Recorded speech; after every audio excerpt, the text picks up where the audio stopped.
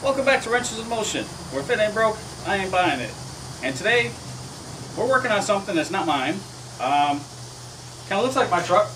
Got same front end. It's a Midnight Edition. Um, this is a 2015 Chevy Silverado 1500 with a bad AC condenser. I do a little bit of research online and you'll find that all of these AC condensers fail in the same spot. I'll show you where it is and uh, I'm not going to show you a lot of replacing this. This is just going to be a short video to show that yes I do work on actually other things besides Hondas. So let's get into the video.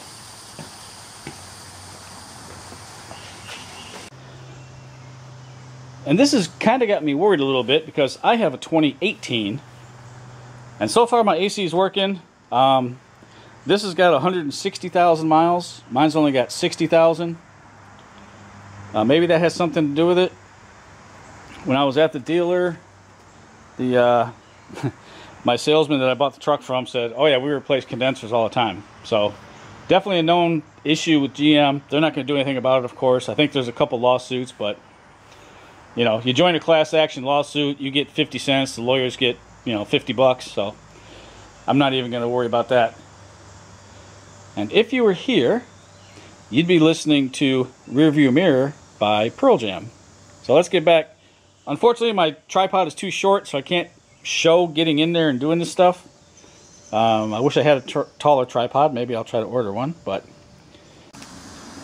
Okay, we're going to be looking in through the grill. And this may not give the best represent. You may not be able to see it the best, but um, up here, oh, the light's too bright. Um, you'll see a. No, you won't. You won't see a. Yeah, right there, right in the center. That little um, thing right there is welded.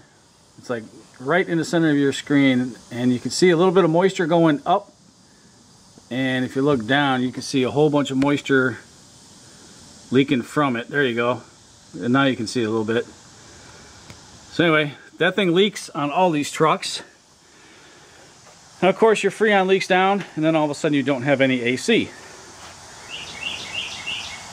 so what we've done so far is um, we've taken out those two pieces of plastic the main cover that goes across here that's easy enough there's a that other little piece of plastic goes in here, goes all the way across.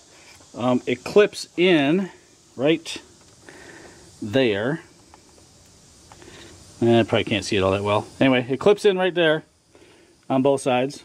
So now, uh, we got some more work to do, but if you'll see right there, that is where the condenser clips in, top and bottom way down there. So we got to make sure we get them clipped in right and you can see it's it's wet there also so very good these top ones here see if we can get this light out of here this is the uh, input for the transmission or output for the transmission cooler one of the two and if you come over to this side same thing so we got to take those out probably gonna leak some transmission fluid which is fine and then uh, way down there is the uh, um, input and output for the Freon. So we got to take the condenser out. Um, this bar is going to come out. We unloosen this. And this whole bar is going to come out. There's three bolts under here and three bolts under the other side. Now get that out gives us plenty of room. Uh, this here, we're just going to, what you do is push that back. There's a clip in here. Push the clip out and that'll pop right out. So that's how you do those. And let's get started. Oh, we're also going to have to take out the uh, air box because it's just a whole lot easier to get to everything if you do. So we're going to take the air box out. Um, I don't know if we're going to take all this out or just the air box up to here. We'll find out when we get there. So with that being said, let us um, continue. Next thing we're going to do is we're going to try to get this crash, not crash bar, but this this bar out of here. All right, so for this bar, um, you also have to undo the two um, little side supports. And something else that they didn't mention, a couple other things, is uh, this flap. You gotta take that flap out of the way. Um, and these two that bolt the radiator in, you gotta loosen them up so you can slide this out. Because right now it's got a lot of tension on it. Also, I mean, we still got the 13 we gotta do there. And this is how, I mean, you can barely see, I mean, I can barely see standing here, but you can barely see a, a nut in there or a bolt in there. So what we gotta do is take our ratchet, luckily has a bending head, and come in upside down. And that's how we gotta get this thing out of here.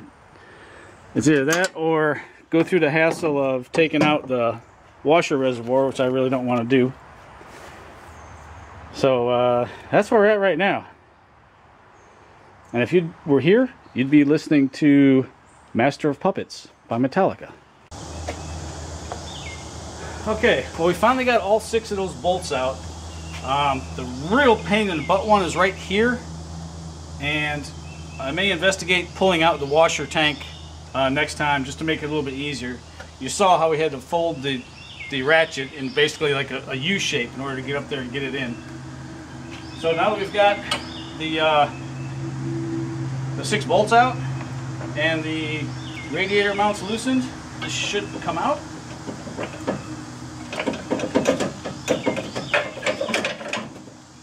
I said this should come out. What is holding it now? Obviously something's still holding it.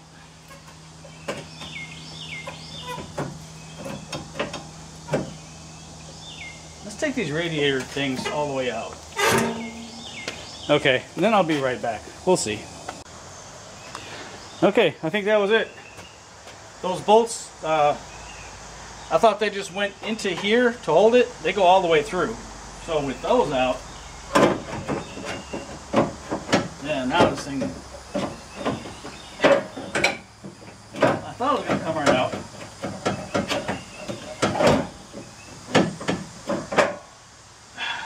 Isn't that great? Why are you not coming out?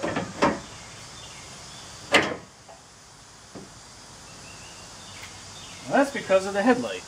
I'm not taking the headlights out. And I'll go back because of the washer tank.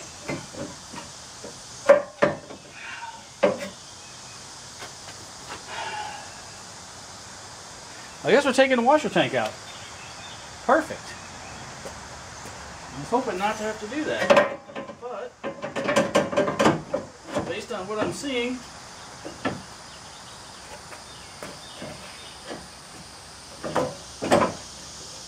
yeah, we're going to have to do that, I think. Well, isn't that just another pain?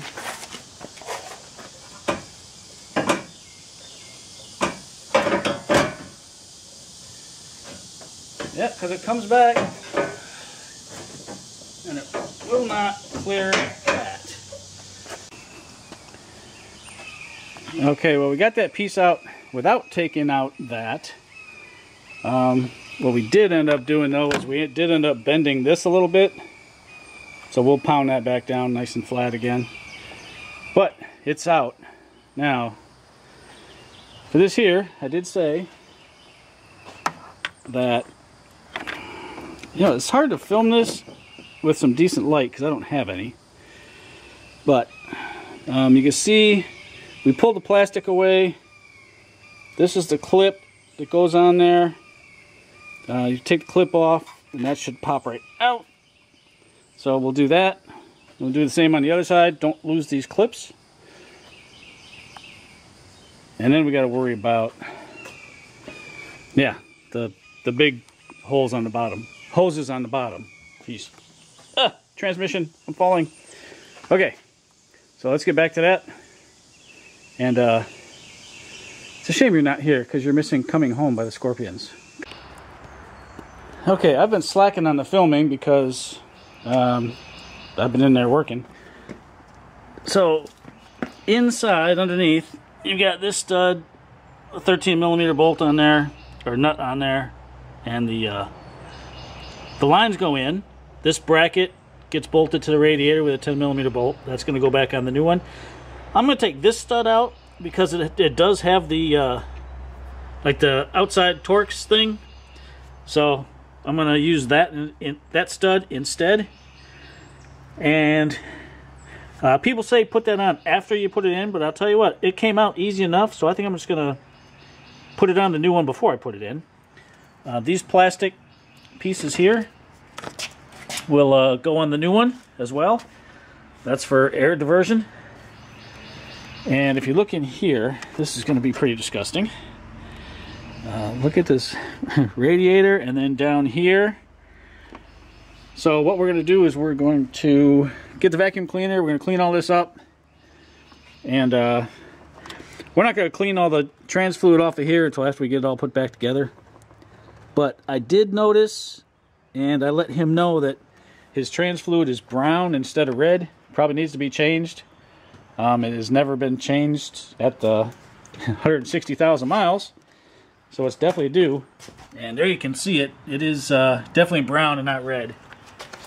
I don't think I'm going to do it um, because I don't have time. I've got to go to Wisconsin on tomorrow for nine days, and then I may have to fly to Hawaii right after that. So uh, my schedule's kind of busy with work, of course.